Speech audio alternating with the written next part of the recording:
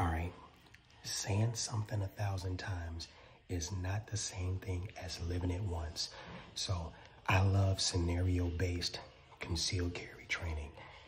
They don't know that I'm about to, let's find out what happens. Now, all of them have unloaded firearms. Now, none of them are real. None of them are real. Some of them are BB and they only have CO2 in them. Some of them are the SIRT pistols that shoot the red lasers. Some of them have pistols. Matter of fact, most of them have pistols. Some of them do not, okay? The pistol that I'm going to be using just for safety purposes is a SIG Sauer P226 BB gun. It has no BBs in it, but it does have live CO2, okay? And we are going to see just how ready everyone is. Now, this is a training exercise, but I love shock value training to show people better than teach them or tell them. So let's see how it works out, okay?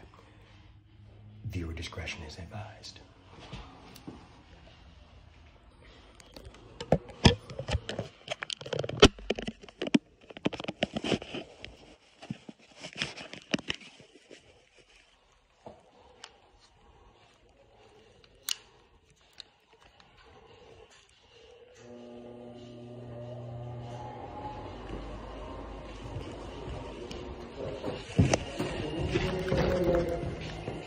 How many of you all are ready?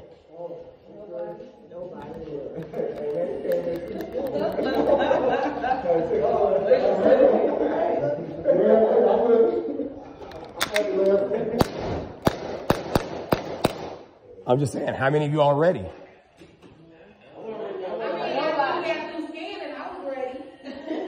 Right? How many how many of you all are ready?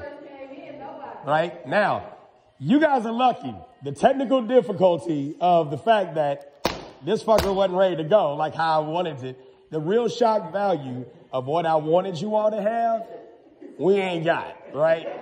But how many of you all were ready? I think this is a huge lesson, right? Now, do all of you all have firearms? Well, most of you have firearms on you? Pull them out.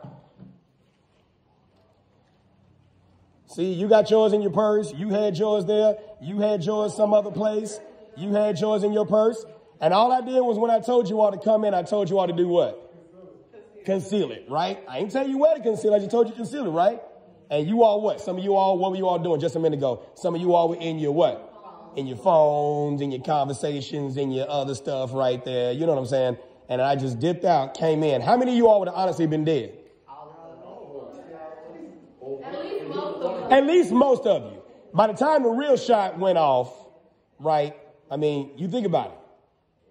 What's on your mind now? Oh shit. Oh shit. Oh shit.